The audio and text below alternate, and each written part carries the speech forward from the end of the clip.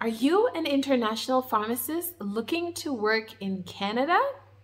Stay tuned because this video has all the steps you need to know.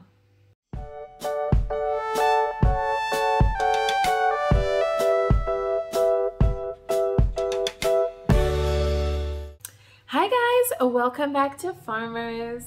In this video, I want to share with you the steps you need to be aware of if you want to emigrate as a pharmacist to Canada.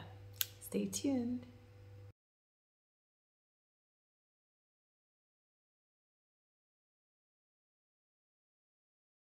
Hey guys, I'm back with the plug. After that Ireland video where we discussed the PSI, so many of you guys were so grateful and started commenting on other places you'd like to investigate or emigrate. So next on the list was Canada.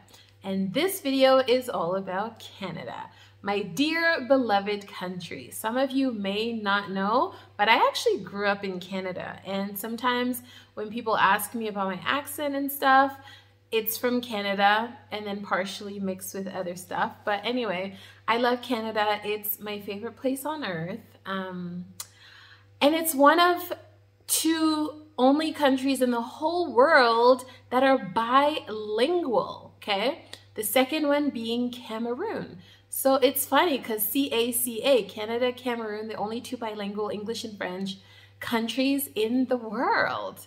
And um, so the advantage here is that if you're French speaking, you can go work in Canada as a pharmacist. And if you're English speaking, the same.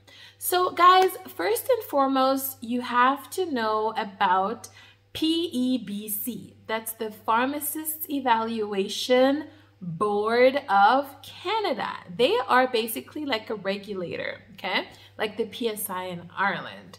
So when you want to apply, whether you've studied in Canada, in the US, or anywhere else in the world, obviously they'll have to determine if your degree is up to standard, etc., etc. So they will have to, you know, start the evaluation process. But there are basically four steps at PEBC for you to qualify or certify, for you to get certified um, with the board, okay? So first of all, they will want to check uh, or do like an evaluation on your documentation. And this is mostly your degree, um, and then your ID uh, documents and stuff. They want to see where your degree is from, if it's up to standard. Um, they will only take a minimum of a four-year undergrad pharmacy degree. So all you guys with the B Pharm are good to go, whether it's from the UK or Europe or South Africa, like the case here, you all will qualify. Um, they also will take a Pharm D or a B Pharm with a postgrad.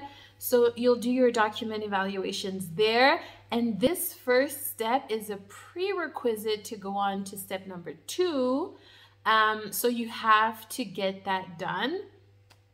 Step number two involves them checking your pharmacy it's a pharmacy examination. And in step number one, when they check your documentation, they also really want to check your professional and educational credentials, okay? Then you move on to step number two. Here, it's a pharmacist um, professional evaluation. And again, they want to check your skills, your aptitudes at entry level, okay? Then also a prerequisite to step number three which is the profession, the pharmacist qualifying examination. And this is divided in two parts. You have part one, which is a multiple choice question. And then part two, which is on a different day, is a like clinical type setting, right? You have stations and you have almost like scenarios and stuff. You have to like, it's like case studies really.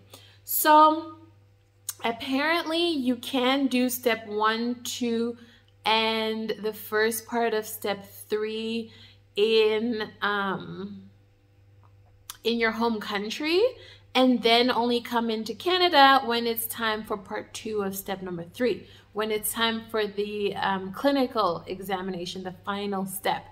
And then when you pass this one, which apparently is really tough, so you have to like study and like really, you know, know your stuff, then you officially qualify and get certified at the board in Canada, at the pharmacy board. So Pharmacist Evaluation Board of Canada. So you get your certification and then you're good to go. But wait, before you even start your whole documentation process, be aware, guys, that immigration is a thing. A lot of people have done the exams and passed it all, but then still can't work because those two are different things. You can be registered with the board, but not allowed to work in the country. So before you start the exam process of your documentation and your uh, credentials and do the exams, do investigate with immigration on what are your options. You can only work in Canada if you have citizenship or a PR, permanent residence, or a work visa. Okay, so look on the immigration website what you can apply for, and um, then you can take it from there and start the two processes in parallel. There is also a, uh, a kind of a shortcut. I think they have some sort of a skilled work visa, which will allow you to apply for work a little quicker. It's like a critical skills in South Africa. Um, but um, the Board of Pharmacy is the one that facilitates that. There's this other thing called the Pharmacist's Gateway that all international applicants need to start with. This will give you an idea of the duration of the whole process or application process. It'll tell you what you're likely to encounter, um, what are possible delays. For example, if you fail one of the exams, how much longer you have to wait for retesting and your limits because you can't just take the exam a hundred times. I think it's very limited to like three or so.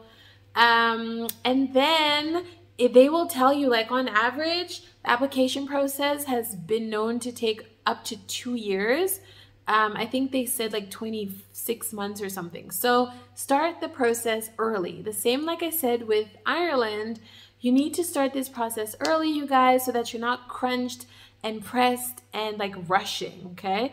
Start it early, be relaxed about it, find out dates, when exams are happening, what are your options, when you need to fly over there, and um, then you're like cool, calm, and collected. You don't want to be like rushing and stressed and panicked when the process is supposed to be enjoyable. You're making a career move, you're going to a fabulous country. In the meantime, you can also start looking for work so that by the time immigration sorts you out, you already have somewhere ready for you to begin work.